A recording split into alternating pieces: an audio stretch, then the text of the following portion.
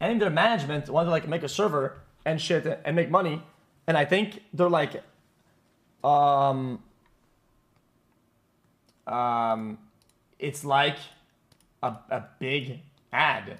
They're just all playing their company's fucking uh, a server. So we say, so that's fine. That's fine. I'm just telling you that this is the motive, or whatever, so that some of these won't happen. Like the fucking some of the crossovers or rivalries or storylines that you were asking about and told before this aren't happening because that it's not even like a, a hit at anybody. I don't know why everybody's being so mauled. Like, bro, it's really that in the current year, this is like massive like like brain dead fucking CG glazers, bro. Like, oh my god. I'm mauled. It's just, it's just people are just being dumb as fuck. Wait, was C was CG your guy your rival? Your was that your Uh, rival gang? Oh, of course, they're always the rival gang. The fuck?